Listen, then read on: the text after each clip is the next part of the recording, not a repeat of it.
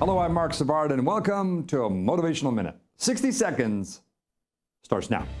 Did you know that I'm friends with Marc Savard? Yeah, the professional and former NHL hockey player who played for the Boston Bruins. Well, he and his wife Valerie came to my show last year. Our wives uh, went out for dinner with us. We had drinks and food. We had a great time. It turned out that we all had a lot in common.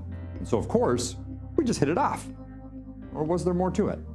It's possible that something called implicit egotisticism was at play. What's that? Well, it's the scientific theory that people are subconsciously attracted to things that they associate with themselves.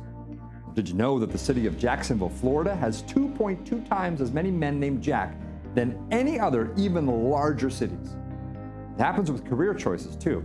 It turns out that there's a disproportionate number of men named Dennis who go into dentistry. People with the last name Carpenter are more likely to become carpenters. The same goes for the names Virginia and Georgia. Can you guess which states you might find a lot of those names? Even people with the same birthdays are slightly more likely to marry each other. Now, recent studies into this phenomenon have even shown a correlation between the first letter of kids' names and the grades they achieve at school.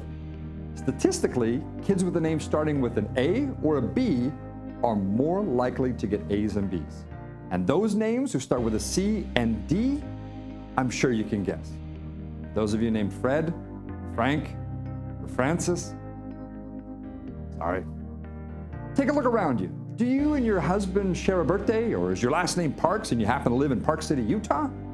It turns out that a lot of life's little coincidences are actually fueled by choices made in the subconscious mind.